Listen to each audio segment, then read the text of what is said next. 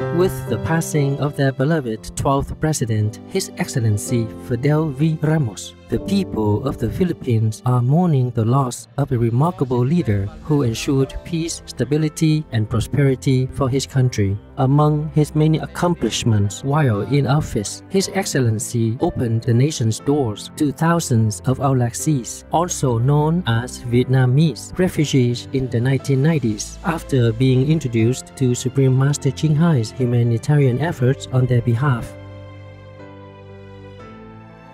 The uh, Philippines was seen as uh, the first as well as the last sanctuary of the uh, Vietnamese uh, refugees. And so those that uh, could not find a new home outside uh, were allowed to stay in the Philippines. And this was uh, one of the, uh, I would say, uh, most gratifying policies that uh, we promulgated during my time as president. For me, you are Mr. Ramos, my hero. You're more than president.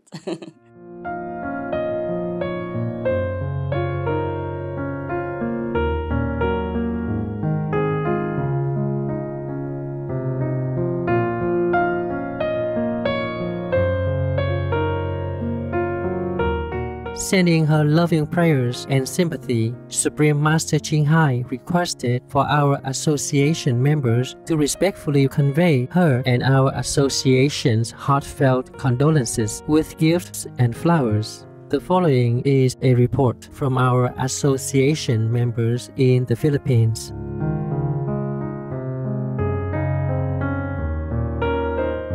After arranging for two wreaths of funeral flowers from Master to be delivered to the funeral site, we arrived on August 6 at 7 p.m. to the reception area. We had the opportunity to speak with Mrs. Celeste Madrigal, former secretary of the late president, who knows Master, as she was in Taiwan or Formosa during the celebration when Master honored the late president with the Shining World Leadership Award for Compassion.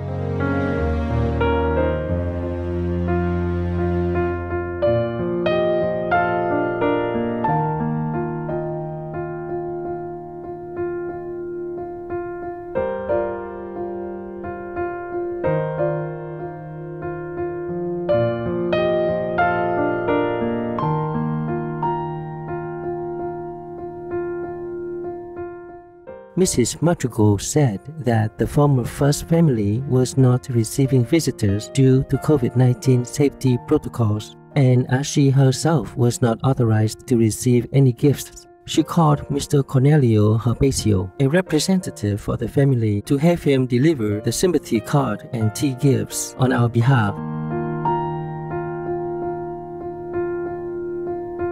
We shared with Mrs. Madrigal how thankful Supreme Master Ching Hai and our association members are to President Fidel V. Ramos for helping the Aulacese or Vietnamese refugees during their desperate time, and that Master and our association will always be grateful and never forget His Excellency's kindness. We also explained to Mr. Herbacio that the card contained a copy of the Supreme Master television tribute video and requested if he could let the family know.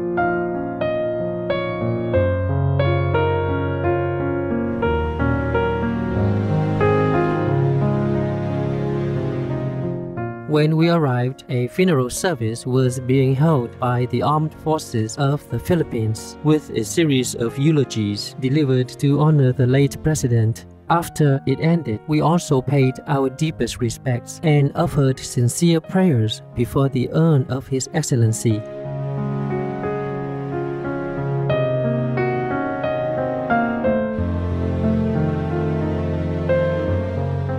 We joined in loving sympathy for the close ones and fellow citizens of His Excellency Fidel V. Ramos, the magnanimous father of the Philippines. May his soul rest peacefully in God's eternal light as his legacy on earth of benevolent leadership lives on